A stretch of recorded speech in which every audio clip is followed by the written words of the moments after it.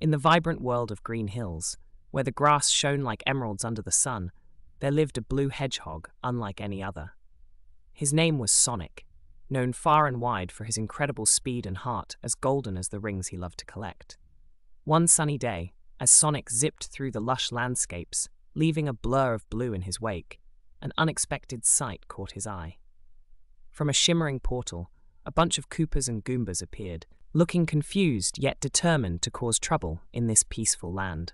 Sonic, with a determined glint in his eye, knew he couldn't let these invaders disrupt the harmony of Green Hills. He tapped into his speed, becoming a whirlwind of blue energy, darting around the surprised Koopas and Goombas. They tried to catch him, but Sonic was as elusive as the wind, laughing joyfully as he led them on a merry chase. As the chase went on, Sonic had an idea. He zoomed around, collecting golden rings, his energy growing with each one. Then, with a burst of speed, he launched himself into the air, spinning like a comet. He bounced off the Koopas and Goombas, one by one, sending them tumbling back into their portal, their plans of chaos thwarted by the blue blur. But Sonic wasn't done yet.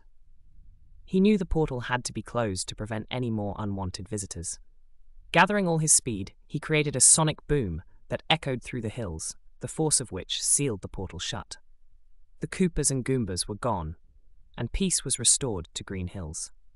Exhausted but triumphant, Sonic took a moment to catch his breath, looking around at the serene landscape.